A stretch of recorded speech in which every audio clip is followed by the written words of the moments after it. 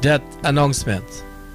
The death is announced of Vishnu Prashad, age 54 years, of 130 Plantation Hope, Bath, West Coast, Berbice, who died on Friday, February 2, following an accident. He was the son of Sukrani, known as Auntie Marajin, and the late Dinarain Prashad, known as Poke Maraj of Bath Settlement, ex-husband of Maureen of Numbead Village and Canada father of Stephanie and Joni, brother of Pradeep of French Guiana, boy of the USA, Rishika of the USA, Radhika of Diamond, and the late Gaukaran and Veronica.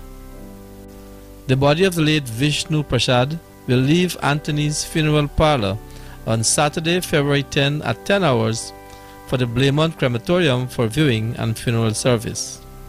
The cremation will take place at 12 hours. DTV extends sympathy to the relatives and friends of the deceased.